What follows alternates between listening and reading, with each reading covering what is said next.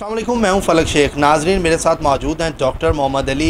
इन ताला आप next time जो चीज़ हमारे चैनल फलक शेख ऑफिशियल पे देखने वाले हैं वो क्या है? मैं डॉक्टर मोहम्मद अली से मैं चाहूँगा कि सर ज़रा डिटेल में बताएँ कि कौन सी ऐसी वीडियो है जो लोग लोगों के लिए फ़ायदेमंद होगी। जी अलैक्म सर। वालेकुम सलाम। अच्छा फलक शेख साहब ये जादू के टॉपिक पे होगी।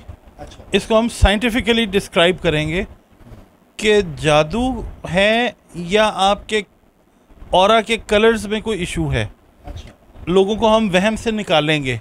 अच्छा। ठीक है जादू पर हक है करने वाला काफिर है मगर हर प्रॉब्लम जादू की वजह से नहीं होती।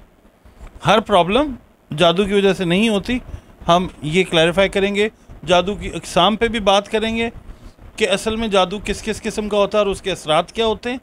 और हम ये भी बात करेंगे कि इसका इलाज हम रंग रोशनी और खुशबू से और कुरान पाक से कैसे कर सकते हैं।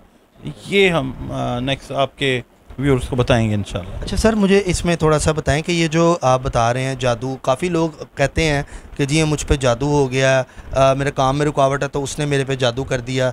आ, जादू बर हक है लेकिन इसका इलाज जो है वो किस तरह मतलब मुमकिन है? थोड़ा सा आ, मैं जानना चाहता हूँ कि लोग कैसे निकलेंगे इस चीज़ों से क्योंकि आमिल बाबा जो इतने बैठे हुए हैं जिनको नॉलेज कुछ नहीं होता बस कहते हैं जी मैं आपको ये कर दूँगा वो कर दूँगा चिड़िया बना दूँगा। मतलब इस तरह के लोग भी आप उनसे पूछने के चोर हों और वो आपको कह देंगे आपके फलाने रिश्तेदार ने नाम नहीं बताएँगे? बताएँगे एक औरत है पतली सी मोटी सी लंबी सी छोटी सी हाँ। उसने आप पे कर दिया है। आप अब शक में पड़ जाएँगे। ख़ानदान में कोई होती है ठीक है फिर आपको वहमों में डाल देंगे।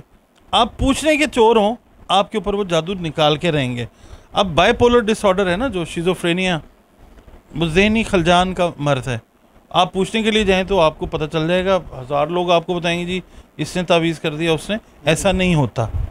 हमने उसको देखना होता है कलर स्कीमिंग के हिसाब से। आप उनके कलर्स को बैलेंस करें चीज़ें ठीक हो जाती हैं। कलर किस तरह सर बैलेंस होगा? मैं शॉर्ट वर्ड में बता दें वन लाइन में। वो और होता है आपका हाला। अल्लाह ने बनाया होता है जब आपने आप पैदा होते हैं ना दुनिया में आते हैं। सात रंगों का हाला होता है वो फर्दर सब डिवाइडेड होता है। हम वीडियो में बात करेंगे ठीक है मतलब हर इंसान का अलग अलग रंग। नहीं नहीं हर इंसान का अलग अलग रंग है बिल्कुल ऐसे है।